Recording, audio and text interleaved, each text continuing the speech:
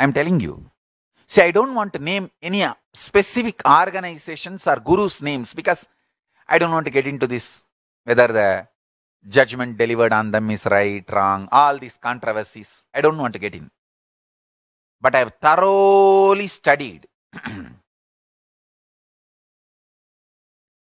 national, international Hindu gurus, organizations, multiple successful, failure, looking successful externally but failure internally.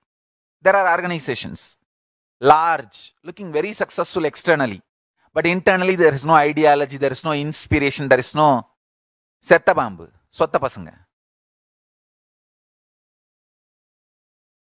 Same way, there are some organizations. Just because they reacted they have been destroyed. The primary crime was not committed. The crime about which they have been accused, their guru was accused, was not committed. But due to their reaction violently, they are destroyed. So I am making it very clear as a strategy. Understand? This is the chemistry of receiving Parashakti and manifesting Ishvara Shakti. Power becoming force. Love is the space. Power becoming force. You understand this? Paramashiva is love. Power Ganga he receives and makes it as force Ganga Nadi. How Paramashiva receives the wild Ganga Devi and makes it as a beautiful Ganga river.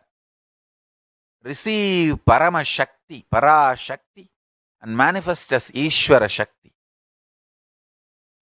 Ultimate power, receive the ultimate power with pure love and manifest as pure force.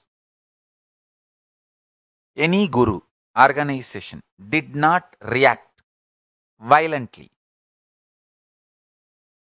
did not react powerlessly, did not react angrily, were never, nobody was able to destroy them. Nobody was able to destroy them.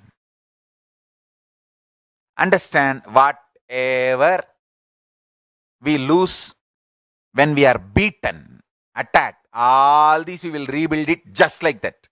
Don't worry. Don't suffer. People send messages, oh, put, they put it in even the social media, oh, Swamiji, because of this attack, we lost that ashram, this temple, this one, that one. Don't worry.